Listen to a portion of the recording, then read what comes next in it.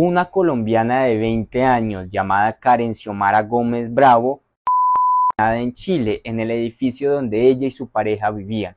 Luego de que vecinos informaran del hallazgo, su cuerpo fue encontrado ayer 18 de octubre en un sótano con heridas de bala.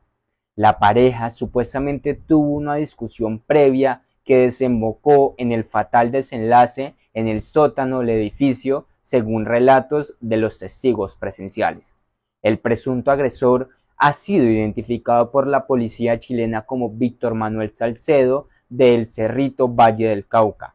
Todo apunta a que las cámaras del edificio habrían registrado los movimientos del presunto cuyo paradero se desconoce.